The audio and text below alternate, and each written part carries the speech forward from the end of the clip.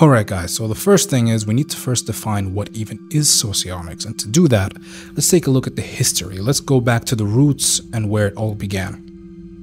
In Switzerland in the year 1920 where Jung published his book Psychological Types. Now in that book that's where he proposed that the foundation of the human psyche was built upon what he termed as cognitive senses which is what we call cognitive functions or what the MBTI people call cognitive functions but the socionists call it information metabolism elements. So in his book, it wasn't until it was only just one chapter of the book, all right, I think it was chapter 10, if I'm not mistaken, where he actually started giving descriptions of each of the types. Now, Jung only proposed that there were eight types, and each one led with the DOM function. So he was only focused on the DOM function. Another crucial thing that people need to understand about Jung's work is that when Jung described these uh, types. He described the extreme cases. He described the cases when they were extremely mentally unhealthy. All right. So, yeah. Now, 20 years later, uh, comes in the creation of the MBTI instrument. Isabel and Katharine Briggs came together, took Jung's work, built upon it, and that's when the eight types turned into 16 types. All right, and that's where the whole concept of the auxiliary function came into be. Now, that was during the 1940s, during the uh, Second World War. Now, fast forward to the 1970s, and then we have the creation of socionics. Right. It was created by a Lithuanian researcher, a psychologist, and economist, sorry, named Aušra. I'm not going to pronounce the second part of her name, last name. I don't know how to pronounce that, so forgive me for that, okay? But yeah, so she was a Lithuanian psychologist and economist, and she was the one who first initially proposed socionics and uh, what is known as Model A, which is a very crucial model, which we'll be getting to in uh, one of the upcoming videos. All right. Now, in the 1990s, is when socionics was actually standardized.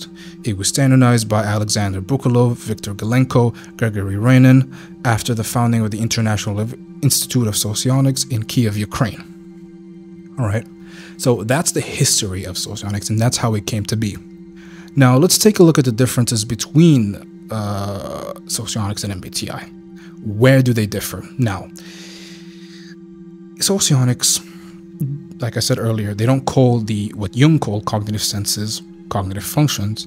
They instead call them information metabolism elements. It said it, it, takes a look at how the idea is that each one of the functions, quote unquote, is the way that you it's a, it's a it's a slice of reality that you're tuned into.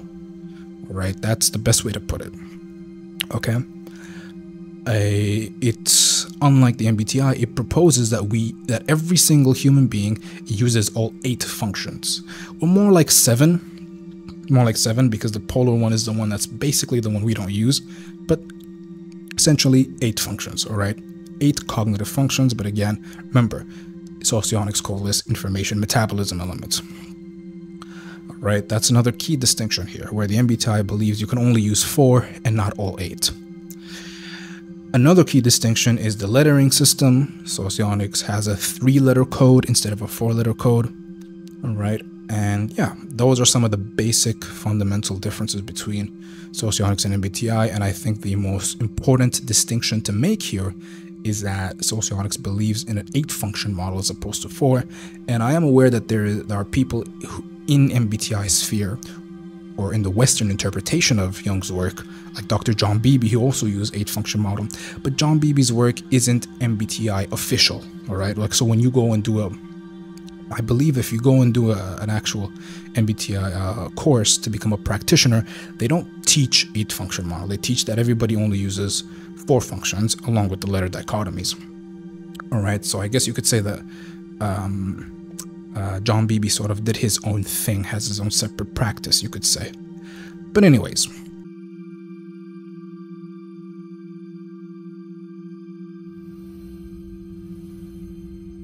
So, now let's take a look at the information metabolism elements, what MBTI people call cognitive functions, what Jung originally called as cognitive senses.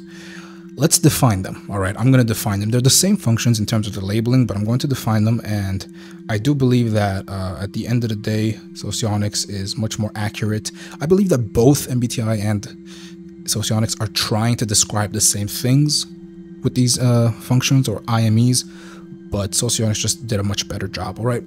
So let's break it down. Now, instead of just giving you a description and definition, let's try to break it down and make it a little bit more mathematical, okay? So let's take a look at all the extroverted functions, the T, E, F, E, S, E, and E. All right, what I want you guys to do is I want you guys to just isolate everything here and take a look at the E's, which is extroversion just take a look at that and break it down into that component, into the simplest component, and understand what is an extroverted function? What does an extroverted function do? Extroverted functions are functions which are primarily concerned with accumulating, okay?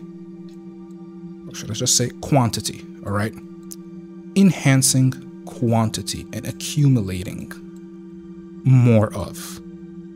That's what extroverted functions do. Okay? It's not that extroverted functions are the ones you see in the world.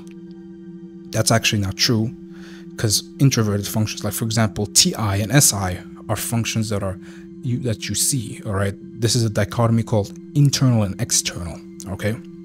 That's another crucial thing. So for example, TI is something that you can see and interact with and share with other people, even though it is quote unquote introverted. But the best way to put it is extroverted functions are all about enhancing, increasing, accumulating, and increasing the quantity.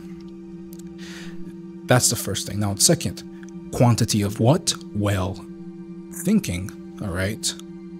TE is all about enhancing the quantity of solve thinking as a, as a function is all about solving problems now te is all about looking for the different ways and increasing the different number of ways that a person can solve a problem te types are all about being pragmatic versatile being able to solve a various set of problems using a various set of tools all right thinking te and ti is all about problem solving all right it's just te approaches it differently than ti TE is all about data, statistics, uh, research, reading books, uh, accumulating information, whether it be from books, interviews, documentaries.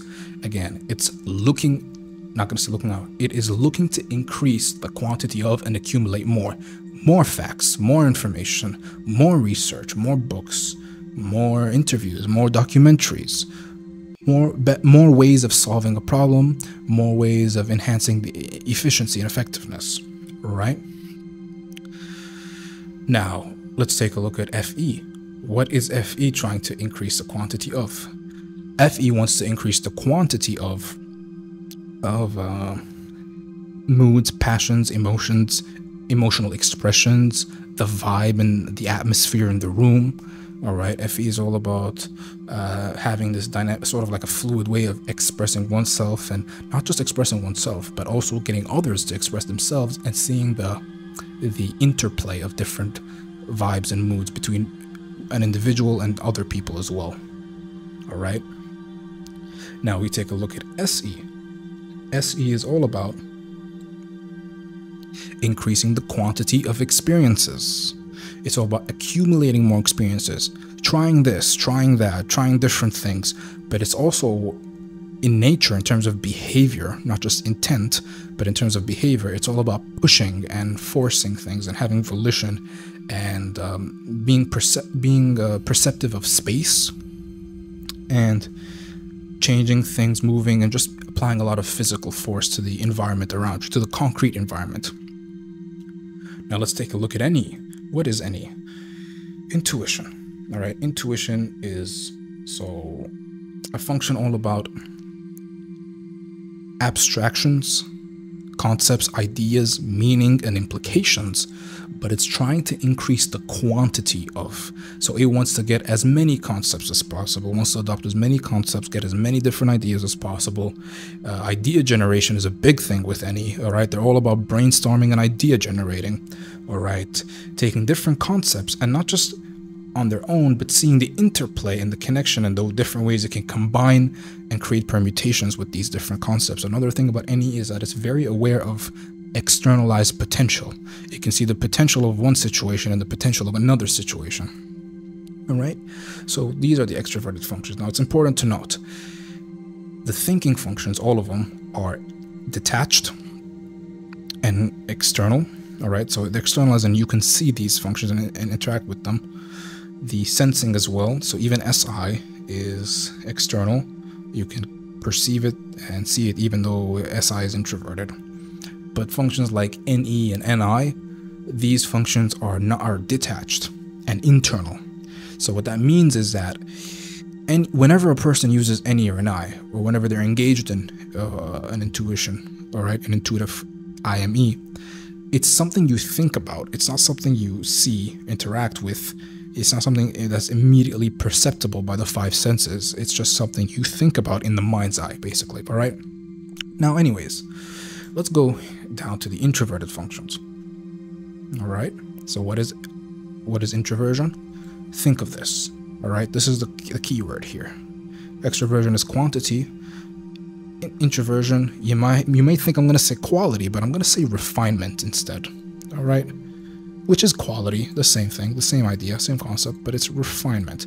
It's all about it's all about seeing the different for example, you're you're you're out in a garden, a bunch of apple trees, all right?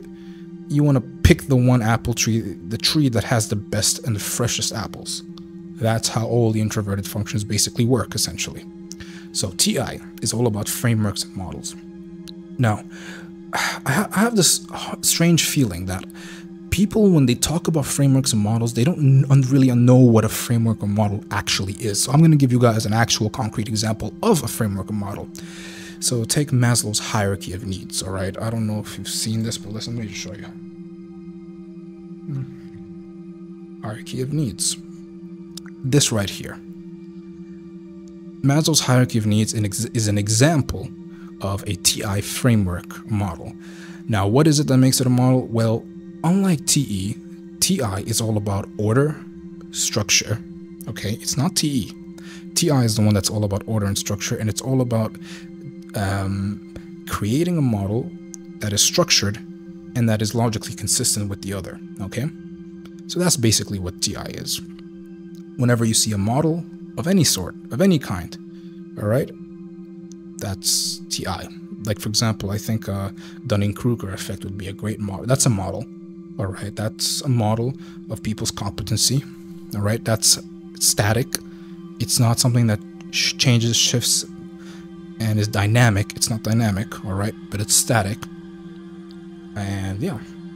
So ti is all about refining intellectual ideas of what works and what doesn't work TI is not looking for the multiple ways of solving a problem or the multiple tools you can use or the different amounts of books and research. It's not concerned with that. TI is concerned with establishing a coherent system of thinking. All right. And it needs to be logically uh, consistent. Like, so if this, then that. If this, then that, you know? So, yeah, if A equals B and B equals C, then A equals C. That way of thinking, all right, is TI is very heavily TI. Now let's take a look at FI. What is FI? It's a eh, feeling. It's all about what uh, moral judgments. All right, what is a good or a bad thing to do? Having personal sentiment towards other people. FI is all about refining that, refining the emotional atmosphere. I guess you could say. See, when I say that, I mean that FI types, unlike FE types, are not so concerned with um, displaying outward emotions, passions, moods, or that of other people, or being in an environment that is uh, that that is that consists of that. Okay, so FI is all about having your own personal sentiment, what you think is right or wrong, you as an individual personally, and then refining the uh, quality of what you think is a good or bad decision, basically. All right, and then morally, from a moral sense, it's still a decision-making function and uh, not a lot of people know this, but even but I think Socionics knows this as well, and even some spheres in MBTI have pointed this out. And Jung originally, when he coined when he coined FI, he also described it this way. But FI is a very analytical function, all right, IME. It's just as analytical as TI. It's just what it's analyzing is completely different from what TI is analyzing, all right. Now let's then move on. So those were TE, thinking F. Now let's move on to SI. SI, it's all about refining the sensory experience because it's all about sensing. It's all about what people can touch, taste, you know, smell, see, all that stuff, right? But it's instead of accumulating experiences, going out and conquering that mountain or uh, discovering new land, like in a concrete sense, right? SI is all about refining, all right? What is comfortable? What is peaceful? What is harmonious? Um, yeah, what? How can we make sure that the day to day is running in a peaceful, comfortable way without things uh, falling apart, basically? That's SI, okay? And then we get to NI, all right, as a function here. Intuition, like I said, it's all about the deep, uh, deeper meaning, implication. But with NI, instead of increasing the quantity of different ideas and concepts, NI is all about refining and finding the ideas and concepts, implications and meanings that is most significant to the individual in the long term. All right. That's the thing. So NI is all about NI is all about a person's path, a person's destiny. Not just sometimes not just about the person, but also the destiny of another person or another project or an industry. Alright, it's all about trajectory. NI is called the intuition of time because NI has a special connection to time. Each of the functions have their own special connections, but NI for NI it would be time. Alright, NI is all about evolution, development, progress over time, innovation as well. Okay, how things transform over the over the years. Right, it can be in a negative way or a positive way. So yeah. So then let me go and tell you guys. So TE names of the functions. TE is known as pragmatism. FE is known as um, I think it was mood, passion. SE is all about volitional force space. NE is all about ideas, possibilities. TI is all about laws, frameworks.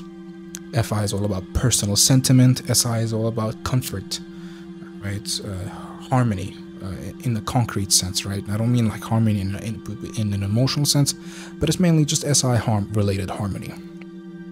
Socionics came in the 1970s from an economist and a psychologist named Aušra. She's Lithuanian.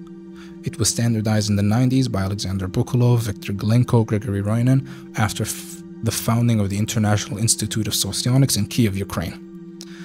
Socionics, unlike uh, unlike MBTI, believes in an eight function model and that everybody uses all eight functions and not just four. Now, what MBTI people call functions, Socionics call information metabolism elements, or IME for short. Then we have the functions. The extroverted functions are all about increasing the quantity, whereas the introverted functions are all about refining the quality. Now, one thing, last thing, is a misconception is that people tend to frame the differences between extroversion and introversion as as uh, plural versus singular. But for example, like NI is all about the one concept. Well, NI not exactly. I mean, it can know, it can have like two, three, four concepts or ideas, also maybe different hobbies as well. But the difference is that they all need to be refined under one superordinate theme. So I guess it turns the three, or the four, or the five into just one big one, I guess you could say. But yeah. So yeah, anyways, guys, this concludes this uh, lecture and hope you guys found this episode useful. Make sure you like and subscribe. Alright guys, so I'm back again with another lecture, and in this lecture we're going to be going over Model A. Now, this is the most important aspect of socionics is to understand Model A. So the best way I can put it is, if you're familiar with John Beebe's work, Model A, you could say, is the socionics version of John Beebe's eight-function model, basically, alright? So what this model does is it essentially places the different information metabolism elements, which MBTI people call functions, in the specific order and it describes how each IME behaves in each slot. The exact same way John Beebe did his work, all right, did his model. Now, in terms of the uh, labeling, for example, I have the leading function. I'm also going to call it the hero All right, so I'm also going to be translating it in terms of John Beebe, if you just so can make sure that everybody's on the same page here. But I would I would encourage you guys to also learn the uh, Socionics name for the uh, different slots. Now, this is a key distinction. All right, what John Beebe calls the slot is what Socionics calls the function. All right, so the slot that the information metabolism, or not the slot the cognitive function in terms of MBTI goes into in socionics is the function, all right, that the information metabolism element goes to, okay? So whenever you think of the parent slot, replace it with function. The word slot, replace the word slot with function, all right? That's very crucial that you uh, learn this. So, Model A was created by Aušra, all right, the Lithuanian psychologist and economist who founded uh, Socionics, and that's why it's called Model A. Now there are many other models. There are there's Model G, and I think some I met someone who, who created something called Model L. So the point is is that there are different offshoots of this. Although I hope the word offshoot isn't. I don't use the word offshoot to try to paint a negative image of the other models just to let you guys know that there are different variations of these models. But Model A is the original, or what people will term as the classic socionics, okay? But without further ado, let's just jump in right into it and let's uh, take a look at the model. Let's take a look at the structure of this, all right? So let's break it down. Eight different cells, all right? Eight functions representing the eight functions that we all use, and depending on where the IME, information metabolism, is inserted in, that determines your personality. Now, each row has a specific name. The first row is called the ego block. All right. Now we're only going to be focusing on the first row in this episode. Uh, the next episode, we're going to go down to the second row. Okay. Then after that, and then yeah, you, you get the idea that each row has a specific name each row has its own characteristics, its own behavior, its own purpose, all right? And each row has within it two functions. Okay, so let's take a look at the uh, leading function, which is what uh, John Beebe would call the hero function, all right? Oh, and before I do that, let's also pay attention to the numbering, all right?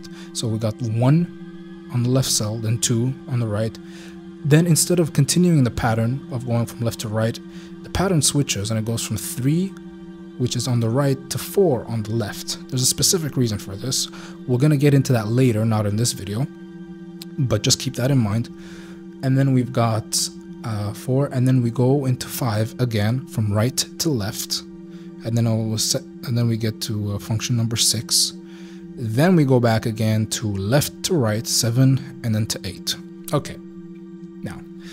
Another thing that I need to say is that um, there's a difference. I'm going to go into it in further videos later down the line, which is the difference between a valued and a strong function. But just know for now that the first two functions, leading and the creative, all right, these functions are strong and valued. All right, now these functions are what make up the what is termed as the ego block. All right, this is essentially who you are and what you bring to the world. Okay? So let's break down. We're going to focus on the ego block in today's episode. Now, what is the ego block? The ego block is the area of conscious competence and active influence upon the world. All right, this is where you're most confident and this is where you're able to lead others and help others in. All right, these are the functions that produce a person's inner sense of I, hence why it's called the ego block and is what the individual most strongly identifies with. These functions have an almost endless amount of energy, demands appreciation for its use, and can easily be communicated to by the person to others. All right? So this is where you're strong, you're confident, you have a lot of energy in these two functions. Some people will say, well, you don't really have that much energy in your for example, if you're an introvert, your creative is going to automatically be an extroverted function and that because it's extrovert that you actually don't have that much energy not in model a and i would have to agree here that this is actually true that it's your your sense of energy you have a lot of energy in these top two functions all right now let's break it down and go into the leading function what is the leading function, or what John Beebe and the MBTI people call the hero function? Let me zoom in here a little bit. The leading function. So, in simple terms, all right, this is what determines your lifestyle and global perception of the world. The leading function is basically who you are as an individual. This is why um, Carl Jung he said that the leading function or the hero function is the uh, function that is responsible for individuation to allow the, the, person to individuate. That's why uh, one person, like, so if you take two NI DOMs, if you take two people of the same type, ILIs or MBTI INTJs, one INTJ's NI is going to be very different from another person, another INTJ's NI in the way that it develops. Why? Because it's the leading function that differentiates you from other people. Okay that's what's key here. That's what that's what that's the key distinction to make when it comes to trying to identify and understand what the leading function is all about. Okay. Now, the information metabolism element that goes into this function is the information metabolism element you use in order to differentiate, in order to get that inner sense of who you actually are. All right. This function is constantly on and it is what the individual embodies as opposed to expresses in daily life. I had some videos in the past that I made where I was comparing the differences between an INTJ and ENTJ, which is LIE versus ILI. And I remember talking about how the relationship that the ILI has with their NI is very different from the relationship that the LIE has with their NI. That the ILI embodies their NI vision of the future and where they want to go and where they want to head. They become the vision that they see in themselves and they see in the future. Whereas the LIE doesn't do that. The LIE, as potent as their NI is, they don't identify with their insights or their visions as right. They don't become the vision. They don't embody the things that they see. They instead use the things that they see to communicate to other people. And that's why uh, the LIE will display a lot more NI than an ILI in communication. All right. You're more likely to get an LIE to tell you or to talk about their individual NI insights. All right, one second. So, yeah. Whereas an ILI is not likely to tell you because why? Well, because they don't use that to communicate with other people. Now, going to get that's the that's communication with other people and contributing to other people that's the area of, or the domain of the creative slash parent function okay so the leading function all right is the information metabolism in this function describes our primary state of mind and is our source of confidence this is where you derive your sense of confidence now there's a lot of overlap here between this and uh, Dr. John Beebe's model. All right, there's a lot of similarities, and which is which I find quite interesting. Now, the leading hero, leading slash hero, the satisfaction is drawn from use of this function regardless of external reward. And that's another key here. You like to use this function whether the world rewards you for it or not. This function is constantly on, it is who you are, it is what you embody, all right, as opposed to use in a utilitarian sense. Okay. Now let's go on to the uh, creative, or what John Beebe calls the parent function. Now, in simple terms, this function is strong, like the leading function, but without a complete view of the world, open to integrate new information, and is flexible. Okay, so the archetype you can associate with this function is the helper. This function is the function you use to help yourself and other people, and the information metabolism element that goes inside this function is what you use to help yourself and other people. Just think helper, your main channel of contribution to the world. This is the function you use to interact with and communicate to other people, and it is your main channel of connection to other people and to society as a whole. All right. Whereas the leading is all about being the assertive big boss. All right. It doesn't matter if you're a TE or SE Dom, anybody can be a big boss, but the boss, the way you you you, you sort of embody that archetype is through your leading function, right? Even an SI DOM can be a big boss, or an FI DOM, or NI, or whichever type. The leading is extremely. Um, here's the thing: the leading is not flexible. All right, the leading of the hero function is not a flexible function. it takes time to change and adapt in this area. All right, you're not really open to new information as much. Whereas the creative, it's extremely flexible, open to new, uh, new information, and is willing to integrate new information that it gets. Okay? It actively expresses itself. All right, so this is this area is extremely expressive. This is the part you'll see a lot in, a, in an individual when they're interacting with you.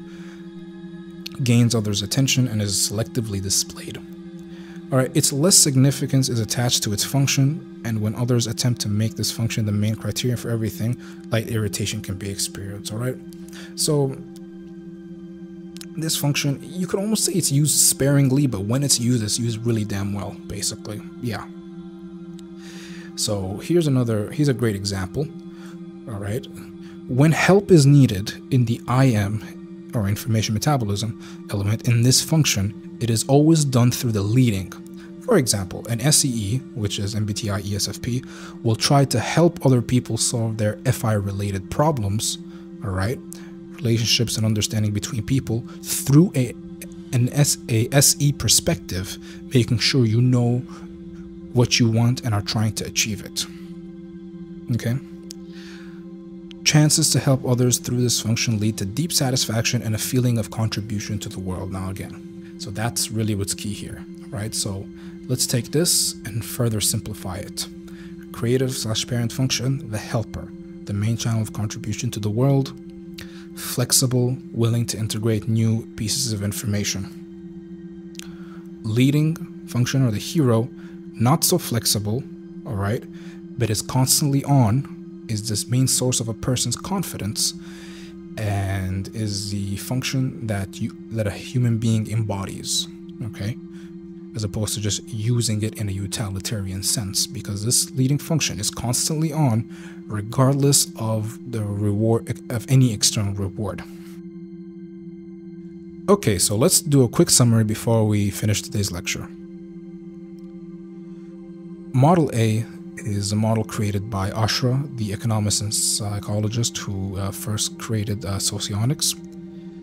Model A is classical socionics. Model A is comprised of eight cells in four rows. Each row is called a block and has specific behavior and characteristics and purpose in developing the person's personality. The ego block, which is what we're learning about today, is the area of conscious competence and active influence upon the world. This is where you get your inner sense of I or who you are as a person. And these functions, right, the two functions within it have endless amounts of energy. Now, the two functions in it are called the leading or hero, as MBTI people will call it, and the creative or parent, as MBTI people will call it. The leading function is rigid, a source of a person's identity, most of all, more so than the creative. It's what the person embodies, it's what the person uses to individuate and distinguish themselves from other people. It's not flexible and integrates information slowly after prolonged periods of time.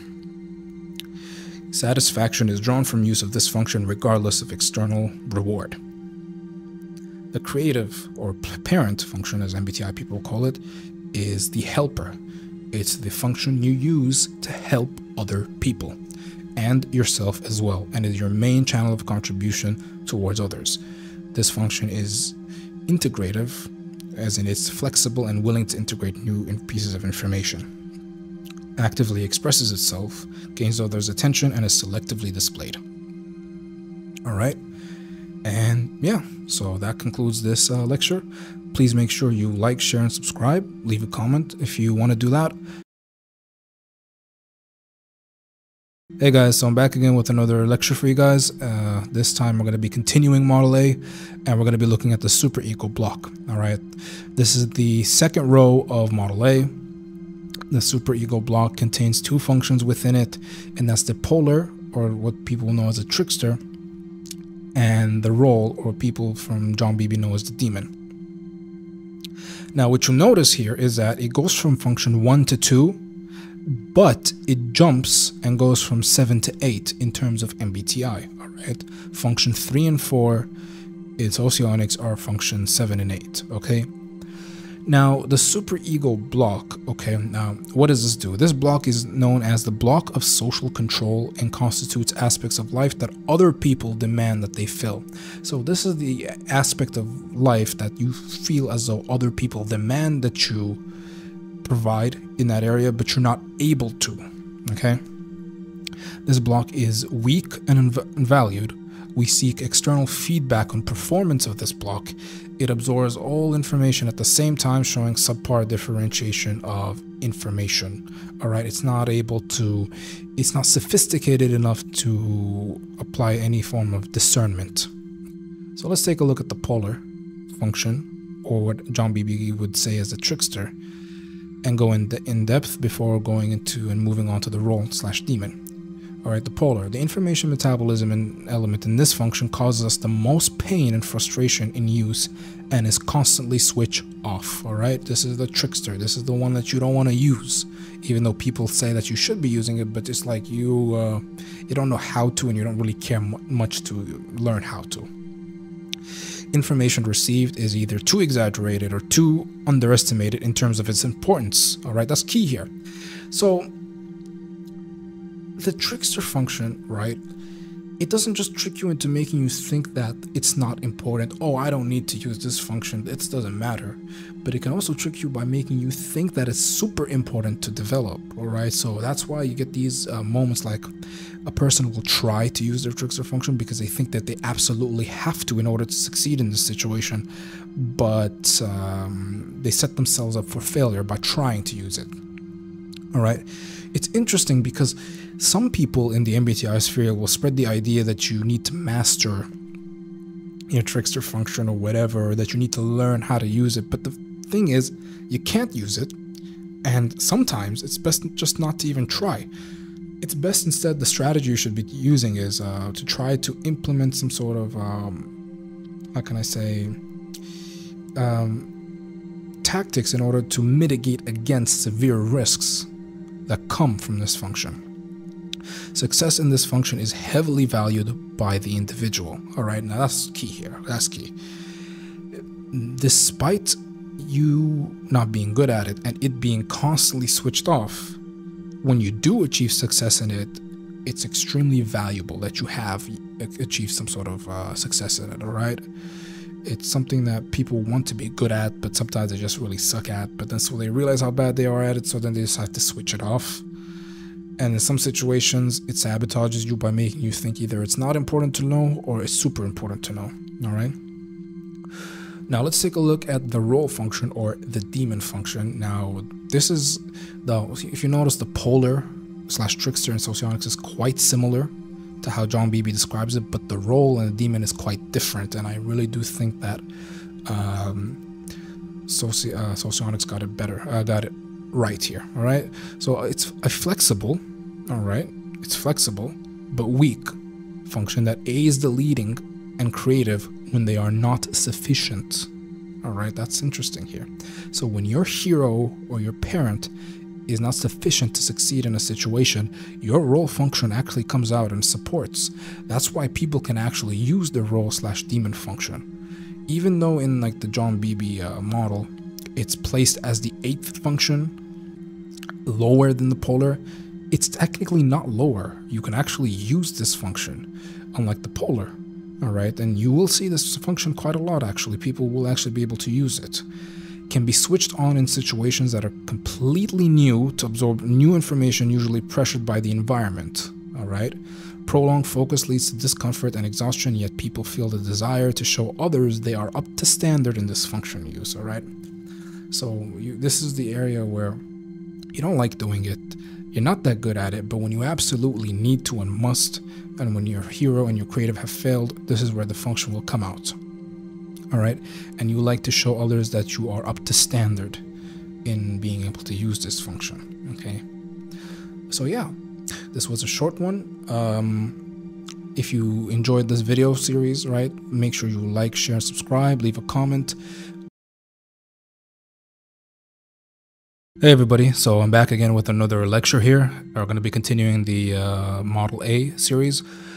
Uh, if this is your first time stumbling across this channel and you've just picked this video, just to let you know, this is a uh, part of a course that I'm doing, and this is like the middle of it.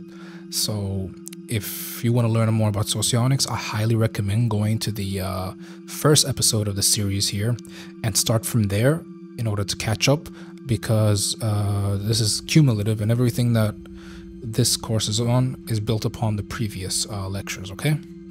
So, yeah. Anyways, without further ado, let's just jump right into it. We're going to be looking at the uh, super id block of model A. That's the third row.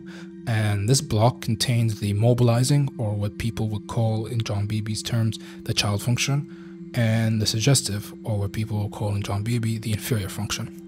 So let's break it down. Uh, let's take a look at the entire block, analyze it, and understand what it does and what its purpose is.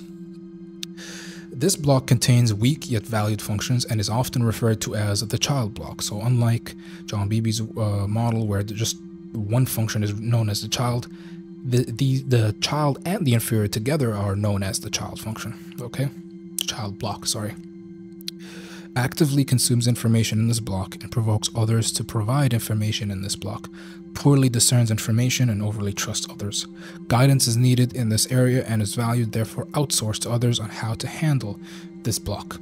Lack of adequate support leads to blaming others and a withdrawal from society. So, let's simplify this uh, so you guys can basically what this means is this is the area we outsource we care about this place, we value it, but we know we're not really that good. So we outsource it to others, and we have this hidden expectation that others will help and guide us in this area, and when they don't, we feel disappointed in them. So now let's break down the individual functions. Let's start off with the mobilizing or the child function. So the theme here behind the mobilizing function is overestimation. This is where we assume that we are much better and more capable than we actually are. And this leads us to biting off more than we can chew, and we eventually stumble and fall and embarrass ourselves. All right. The function receives partial critical assessment.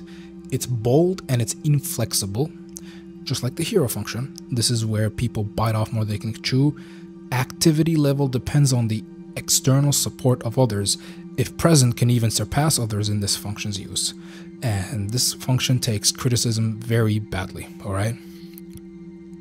Now let's take a look at the suggestive slash inferior. Now the theme here is vulnerability to manipulation. This is where people are easily suggestible, all right? Like a person can come to you and suggest you do something in this area and you'll easily do it, basically, okay?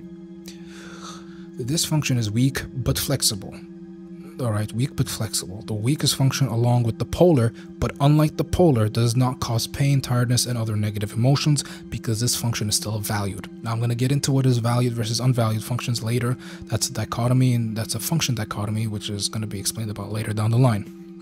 But this is valued as the individual sees the information relayed in these in these areas conducive to the goal of the leading function. Okay, so we tend to view um, the information here as helpful to whatever aims our leading function has. There is still a passive attitude towards it and a need for others to support you in. Advice given in this area is gladly received, but it is very also tolerant of criticism, unlike the child function. So let's do a quick summary, alright? The super id block. This is the area that we outsource to others, but we value it and we have this sort of hidden expectation that others are going to help us in, and we're disappointed when they don't. Let's summarize the mobilizing function, the area of overestimation of our capabilities. Bold and inflexible, taking criticism badly, but over time, we can actually develop this function and get better at it. Suggestive, this is the area of, of vulnerability to manipulation, and this is where we're easily suggestible by others. It is weak but flexible and is very tolerant of criticism and advice and support in this area is glad is always well appreciated all right we gladly seek support and advice in this area so anyways guys that concludes the video all right? If you enjoyed this and found uh, derived some value from it and gave you a better understanding of socionics please make sure you like share and subscribe. And um, Alright guys, so we got another lecture today and we're going to be continuing the Model A series and this time we're going to be finalizing it with the last and final row or otherwise known as the block which is called the id block. Now the id block contains two functions, alright, just like all the other blocks and that's the ignoring or what John Beebe people will call the nemesis and the demonstrative what John Beebe people will call the critic. So let's break it down and get into the overall behavior and characteristics of this entire block here. This block of functions is strong yet unvalued. This is known as the area of passive skills. These functions are mainly used for prevention of unwanted and negative circumstances as opposed to active self-development. All right. The main function of this block is the satisfaction of base level needs, survival for self and others. Constantly on the aspects of this block requires placing restrictions on one's ego block. Constant self scrutiny, self criticism, therefore, usually avoided altogether. All right. So, simplified. All right. What does this actually mean? What it basically means is this block, you're really good at it, you know how to use it, you're very strong, but you don't really value it or care about it that much all right? And you mainly use this these uh, functions here in a negative way all right? To talk about things you should not do. Don't do this don't do that. Let's avoid this on and doing whatever you can to avoid unwanted negative circumstances. All right now the more you use this block the less you're able to use your um, ego block which is the leading and the creative all right? So they're basically antithetical to one another but at the same time, they can be used when integrated to support the ego block, all right? And I'm gonna get into that now. So let's take a look at the ignoring function, nemesis, first and in depth.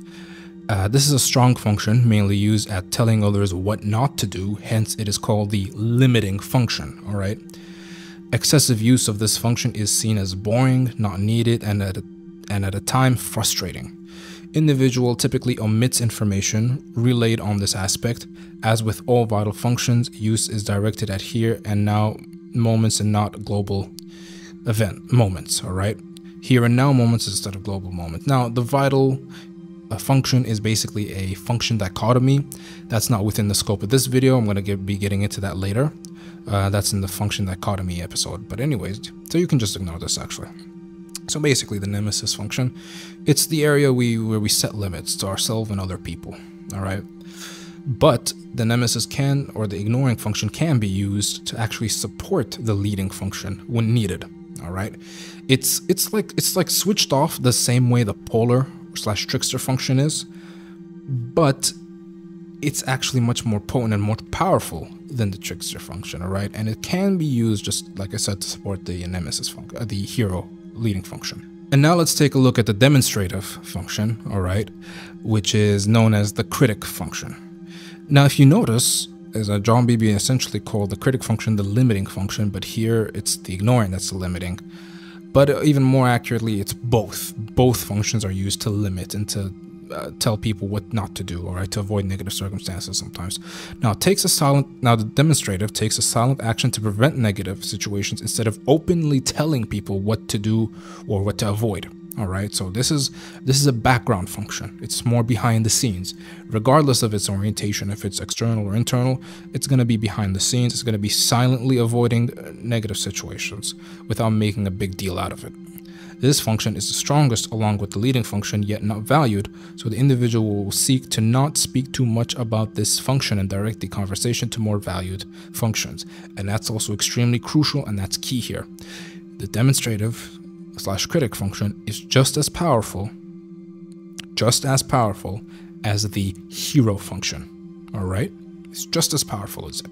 The only difference is, is that you don't like to use it as much. All right? So it's it's interesting because, for example, when you break down an ILE ENTP, right?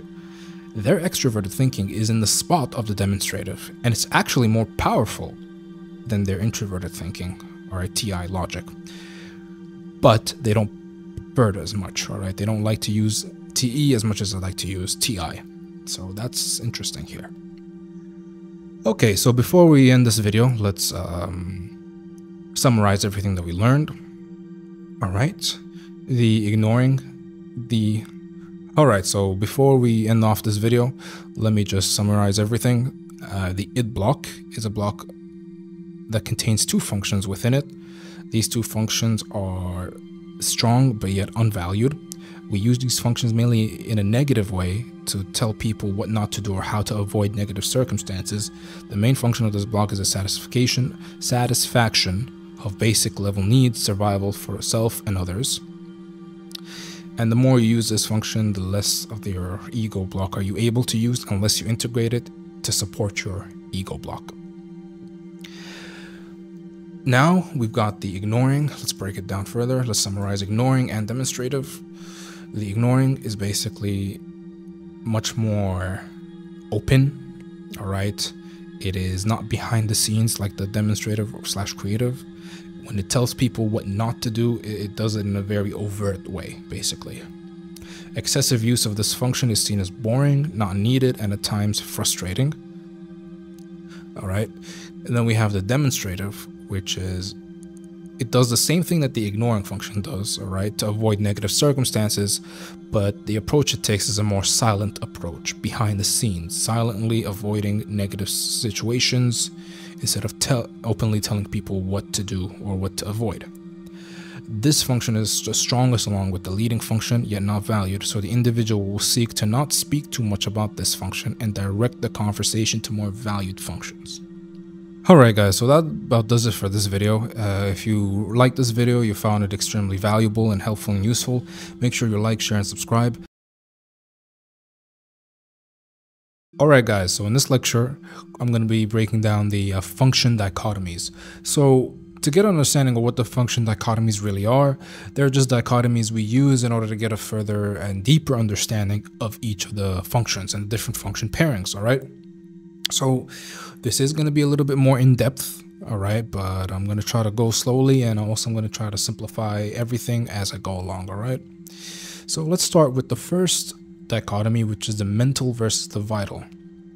All right, the mental functions are functions 1, 2, 3, and 4, all right, which are functions 2, 3, right here. One two three and four. That's the ego block and the super ego block. Now if this is your first time stumbling across this video and you don't know what the ego blocks block are or any of these blocks are what these functions are watch my previous videos all right?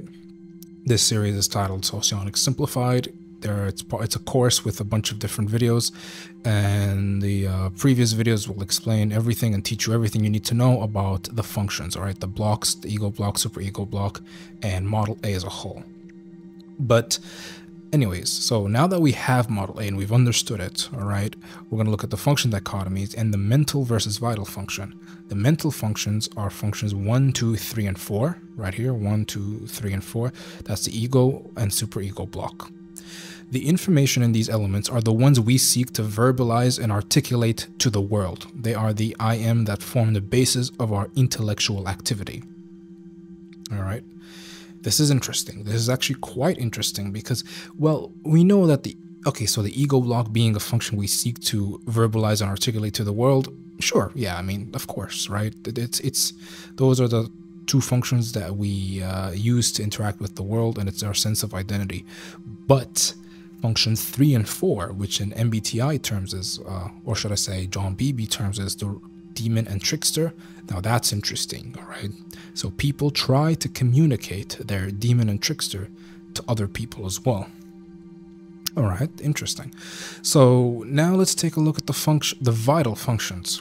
Those are functions 5, 6, 7, and 8, right? That's the super id block and the id block. The information in these functions are the ones that express themselves involuntarily without words in the process of doing things and exist as unexpected sentiments. So basically, these are the functions that sort of just happen to you, basically. All right, they pop up out of nowhere, they happen to you. Uh, so, for example, if you have FI, all right, I'll use myself example. FI, mine is uh, in the sixth function, which is mobilizing, which is child. All right, I experience my own personal sentiments or what I like I find things that I care about personally randomly. All right. I don't consciously go and try to develop my FI or communicate that to other people. It's just something that I sort of discover along the way. which is interesting, all right? Now, that's the mental versus the vital, all right? Now let's take a look at another function, another dichotomy, set of dichotomies here, right? We've got total, we're gonna have uh, one, two, three, all right? Three different dichotomies. Let's take a look at accepting versus producing. Accepting. Accepting functions, accepting functions are the ones that come first in each block of model A. So what does that mean? That's one, the first one's leading. In the Super Ego block, the first one that comes is the role demon because it's the third function. So it's one and then three and then five. Okay, it's suggestive because in the super id block, the first one is the fifth one that comes before six. So it's suggestive. And then the id block is the ignoring, which is the seventh because seven comes before eight. All right, so it's so go back again. These functions, all right, the accepting functions are functions one, which is the leading slash hero, function three, which is the role slash demon, function five, which is the suggestive slash inferior, and function seven, which is the ignoring slash nemesis. These are what are termed as the accepting functions. Now, what does this mean? Aušra suggests that the functions that are accepting are used to form our image of reality. All right, so we understand the world through those functions, and that's how we form our image. Now let's take a look at the producing. These come second. All right, so it's just everything that's so comes second. That's going to be the creative, all right, slash parent, the polar slash trickster, the mobilizing slash child, and the demonstrative slash critic. Now, Model A, these functions are used to create a new product based on understanding of reality formed by the accepting functions. So first, you comprehend reality, you understand the way the world works, and then from, from that sort of input, there's an output. That's why it's called producing. You produce an output, or you create a new product, and based on the understanding. So yeah, that's how it goes. You can think about, I guess, in terms of input output. Accepting is what you're willing to input into your psyche, and then the producing is the output, what you produce or create as a result. All right. Let me go now. Let's go on to the contact versus inert. Now this is quite a lot, right? Okay, but no, no worries. We're gonna break it down. Okay. Contact functions. These are functions two, three, five, and eight. All right. Two, which is the creative slash parent. Three, the role slash demon 5 suggestive slash inferior, and 8 demonstrative slash critic. So it's basically the right column. All right, there are two columns in Model A. Everything, uh, wait, let me just get something, pen right here real quick. This entire column, oops, sorry, my bad. This right here.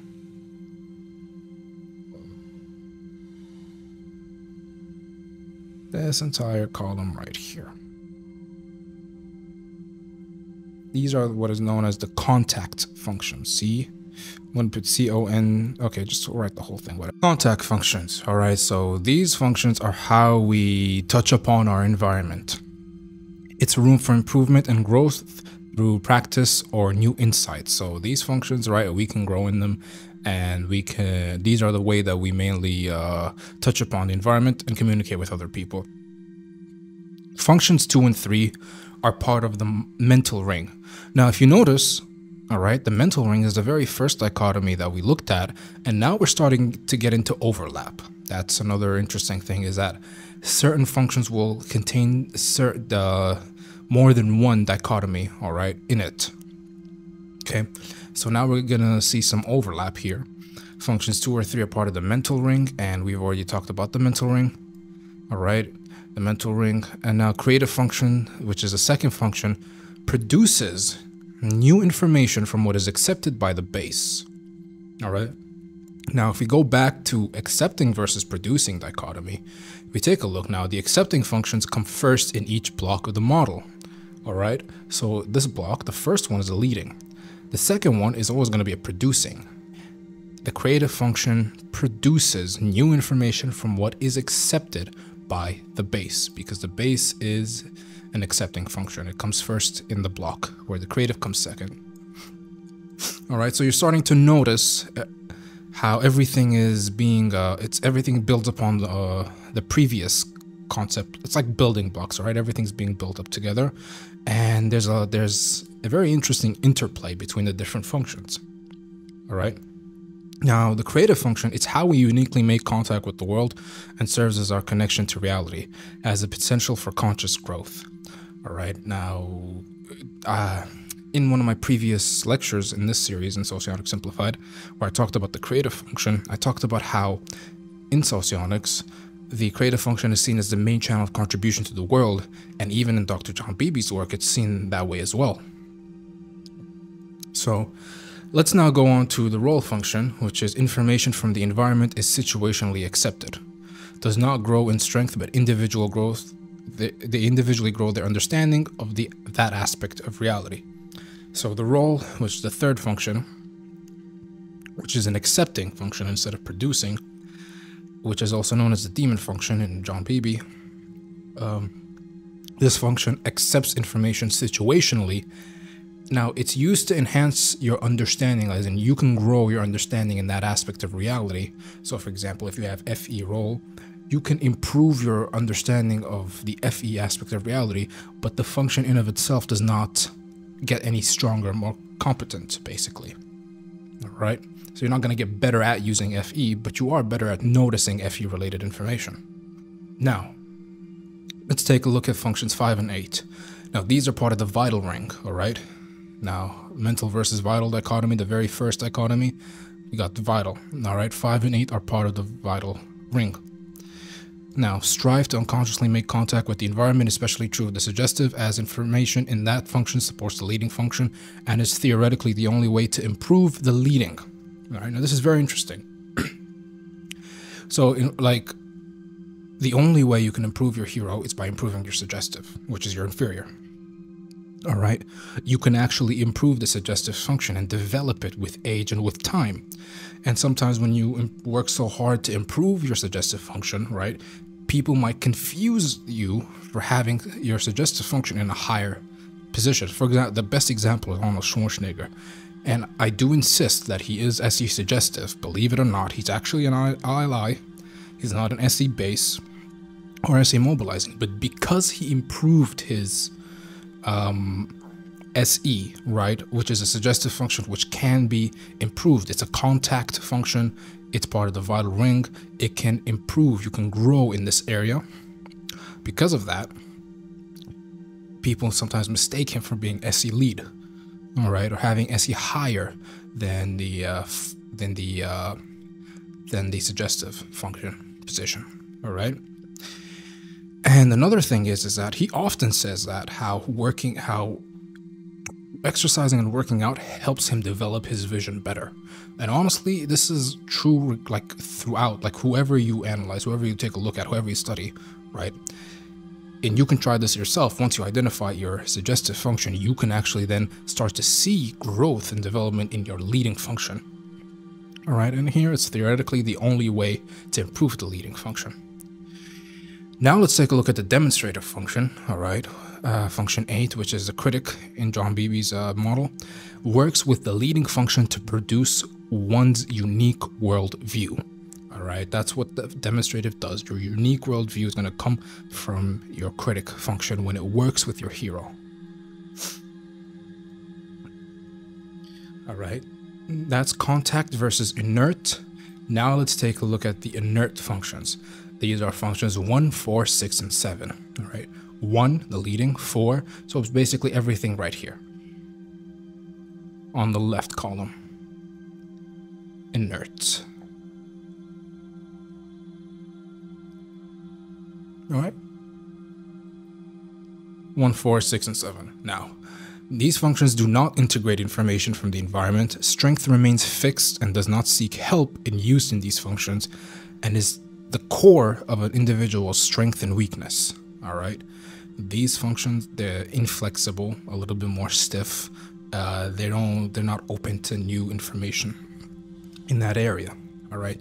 So, for example, one way you can tell the difference between an ILI and an, which is INTJ or LIE INTJ is that the ILI will have FI, all right, immobilizing, the sixth function, which is a child function. And so their idea of what is good or bad, right and wrong, these personal sentiments and moral judgments for the ILI is very stiff. All right, it's stubborn. They don't. They're not. E- they're not going to change their opinion on what is the good thing to do, what is the wrong thing to do. Whereas the LIE is a lot because they have it in their suggestive right here, and its contact function is a lot more flexible. All right, with what they believe is good, what they believe is bad. You know, they can they can deal with interact with people who they don't necessarily agree with morally a, little, a bit better than the uh, ILI because the ILI is kind of stubborn in that regard. So, um, functions one and four, all right, are part of the verbal functions. A person's greatest strength, which is their leading, and their greatest weakness, their polar. All right, so function one and four, the, the strongest function and the weakest function together, but both of them, you're trying to communicate to other people because they're part of the verbal function.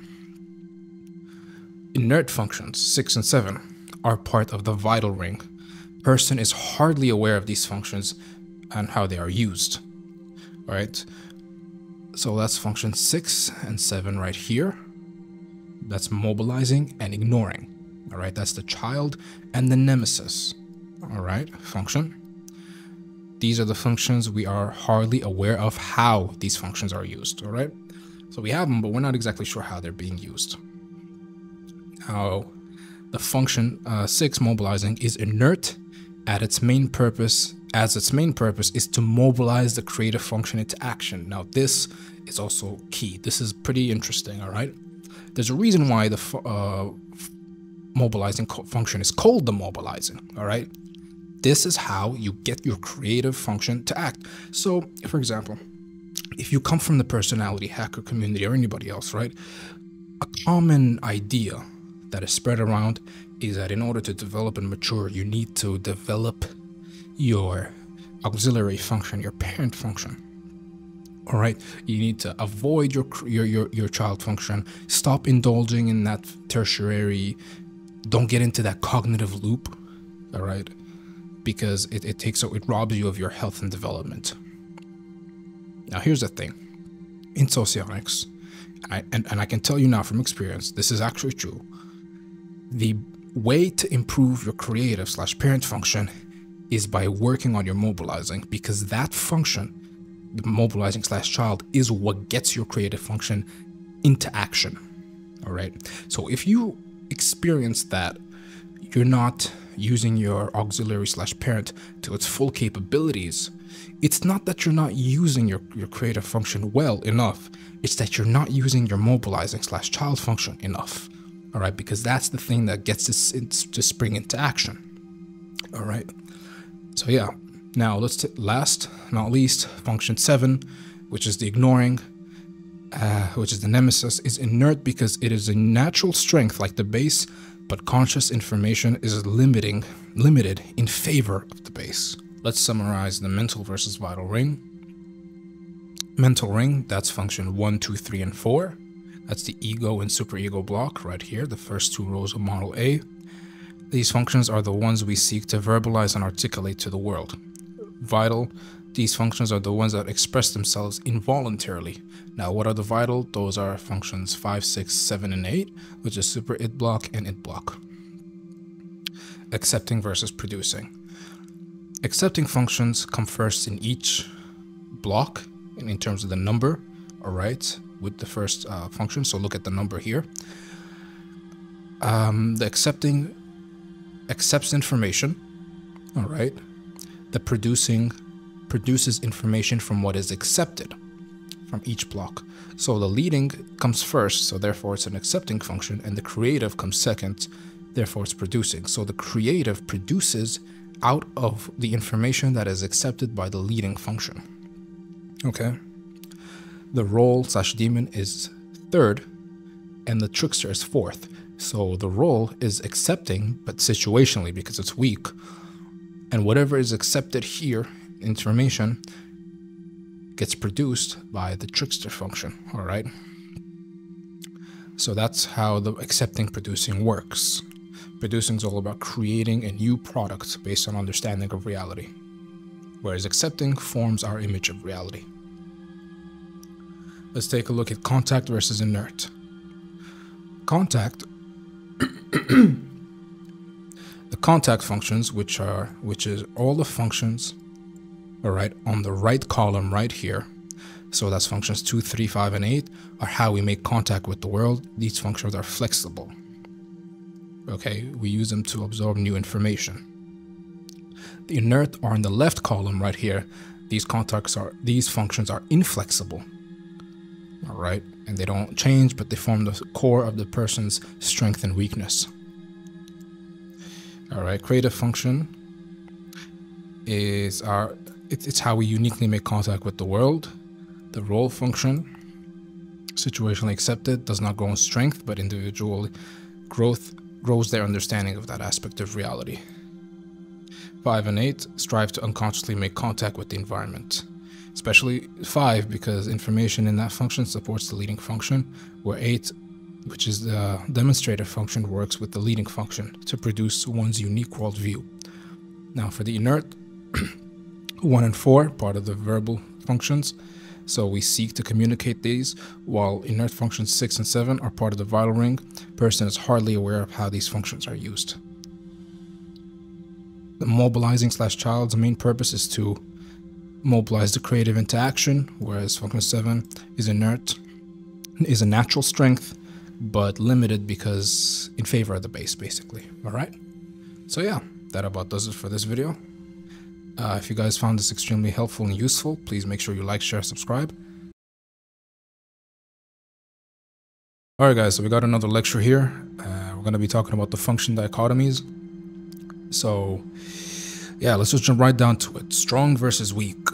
All right, this is another function dichotomy. The strong functions, the ego and the id block. All right, that's the first row right here and the last row right here. Function 1, 2, 7, and 8. These are considered strong functions.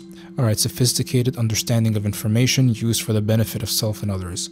Weak functions, those are the superego and super id. Those are functions rows two, two and three, functions three, four, five, and six all right? They're, they oversimplify data, look for outside help, and can't reach conclusions on their own, basically, all right? Now, bold versus cautious. Bold, functions that are used freely, in extroverts, all extroverted functions are bold, even the weaker, more subdued ones, and vice versa for the introverts. This can often make it seem that subdued functions are preferred more than valued functions, all right? So, yeah, the bold functions, those are the things that really pop out for you, okay? Uh, yeah. Then we have cautious. Functions used when with great care and therefore much more sensitive to criticism, especially applies to the vulnerable function. All right. Uh, that therefore, these uh, so if you're an extrovert, your introverted functions are very cautious. You're very careful with the way that you use those functions, and vice versa for extroverts. All right. So I think everything here is so far straightforward. All right. Bold is just think of an image of a person of what shows itself. You know, it's confident. Or cautious is a little bit more calculated and careful, maybe even a little bit more meticulous in nature all right? Then we have the verbal versus nonverbal. Verbal, known as discursive and or overvalued, all right? These functions belong to the ego and the super id block. All right, so this is your top four functions in the uh, John Beebe model, all right, or the MBTI sense. It's your four functions, all right. Okay, because it's super super id block, which is mobilizing slash child and suggestive slash inferior. Then we have all right? Provide active exchange of information between people. Information on these functions is easily discussed with others, tends to self-development, all right? These are the areas in life, these are the functions that we try to develop and work on, most of all. Nonverbal, known as working cooperative, belong to the superego and id block. This is basically what the John Beebe people will call your shadow. Information is non-negotiable, prefers help through actions, activities limited to immediate needs of society. Now let's take a look at exterior versus interior. Exterior, known as constant functions, functions 1, 3, 6, and 8, that's here. 1, leading, 3, the role slash demon, 6, the child slash mobilizing, and 8, the demonstrative creative. Uh, sorry, demonstrative and critic. Uh, they're accepting functions of mental ring and producing functions of the vital ring. All right, so th this is talking about the overlap again. Symbols are all one color. Okay, this is just talking about the way that it's denoted. We view the aspects of this world to be constant and part of the essence of the world. We seek to leave them as they are. External changes are perceived as something inevitable but not characteristics. All right, so let's let's take an example of an ILI, INTJ. One, the hero function, that's NI, SI, FI, and TI. All right, those functions are seen as aspects of the world that are constant and part of the essence of the world. Okay. Uh, and then let's take a look at uh, the interior, known as variable functions, functions 2, 4, 5, and 7. So that's 2, the creative slash parent, 4, the polar slash trickster, 5, suggestive slash inferior, 7, ignoring slash nemesis. Okay. They are the producing functions of the mental ring and accepting functions of the vital ring. Now, this is again more overlap. Okay. So, tend to see aspects of their elements that need to change, actively influencing the world or passively accepting it. so back to the ILI case, all right, that'll be the extroverted thinking, creative or slash parent. Uh, it'll be their FE, polar. It'll be their SE, suggestive, inferior. And it'll be their ignoring, with nemesis, which is NE. All right, so T E F E S E N E is an area that is constantly changing. Aspects of uh, this element need to change, and they actively influence this upon the world. All right. Now, now we have right here. Let me move this. Okay, so I can talk about it. Uh, here, let me bring it closer. Then we have the uh, final the last and final function right here, dichotomy.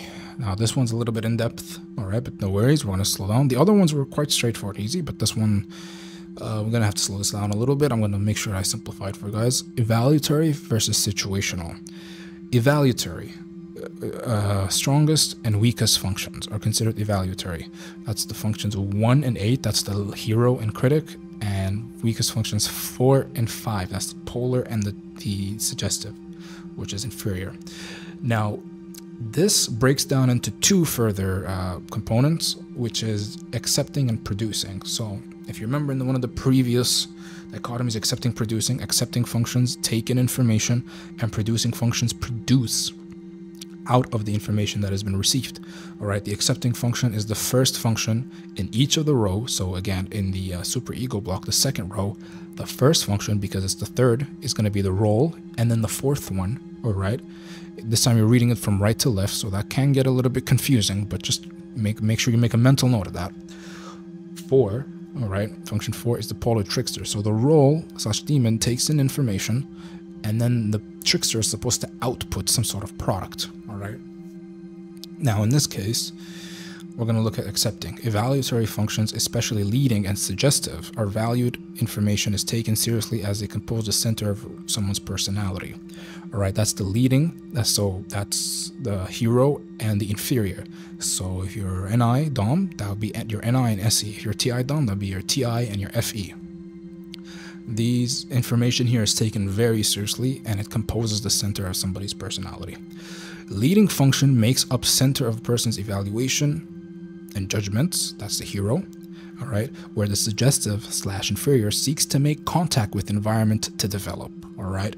So we are always trying to develop our suggestive slash inferior function by making contact with the world. Okay, then we've got producing, Evaluatory functions are subdued by the individual. Evaluations made here are done by subdued accepting functions when valued and accepting functions are not able to process information. Especially true of the vulnerable function, which is the polar. Demonstrative function, all right, that's the trick, that's the critic. Evaluates are evaluations are produced in favor of one's creative functions. all right? So it is taken less seriously even though an individual is quite sophisticated in that area. So basically what this means is in the id block, ignoring the nemesis function takes information, the demonstrative produces a product. But what the product that's produced here is not as valued as the creative because the creative is also a, pro a producing function. The creative also takes information from the leading, all right? So that's basically it. That's it simplified. Situational. Access on a case-by-case -case scenario. All right, now this is the second dichotomy, all right? The, this is these are functions 3 and 7, 2 and 6, right? 3 and 7 is the role slash demon, and then your nemesis, and your creative, and your child. Now these functions are accessed on a case-by-case -case basis, all right? Accept accepting situational. Now we're going to look at the situational functions that are accepting, as in these are the ones that come first in their block. So it's going to be the third function, which is the role and demon, and seventh is going to be ignoring. Okay, because these come first, so they accept information. All right, now a lot of this really builds on the previous videos, so if you're not sure about what's going on here, please make sure you watch the previous videos to understand, all right? This is a cumulative course, basically. So, yeah. Where the information can't be valued by one's accepts information only in the case where the information can't be evaluated by one's valued and accepting function. So, if my valued, so if my valued function that I function that I value, but it also falls on the accepting and it can't evaluate the information, then I move into using my demon function or the role function and the ignoring or nemesis function, what Beebe people will call the nemesis function. Okay. Now, where was I? In the role function, information can be accepted consciously, but is subdued as it opposes the leading function. Role is seen as a contact function, so it is seen as somewhat important. The ignoring function information is accepted in a situational basis, but is ignored mainly as it conflicts with the leading function. Alright, so basically we are neglecting uh, using these accepting functions in favor of other ones. Information is ignored in this area and instead accepted by one's suggestive. Alright, so instead of we, we ignore our nemesis slash ignoring function in favor of our suggestive. So if I'm an ILI, that means I ignore NE related information in favor of SE related information. Because at the end of the day, I value my SE more than my NE, even though it's weaker, it's a suggestive, but I just value it more. Now let's take a look at uh, what else? Ignore function. Yeah, last, we're almost we're done here. Producing slash situational function. Functions 2 and 6, situational as they produce information accepted by our valued evaluatory functions. Creative function produces strong valued information that must make contact with the environment for the ego to be heard. Alright, this is why the creative function is known as the main co channel contribution and your main way of connecting to others. New information is only produced when leading function accepts information. Mobilizing function is inert weak and valued. Information here is not well understood yet, but serves as a driver for the creative function. All right. So anyways, guys, this concludes uh, this, uh, this lecture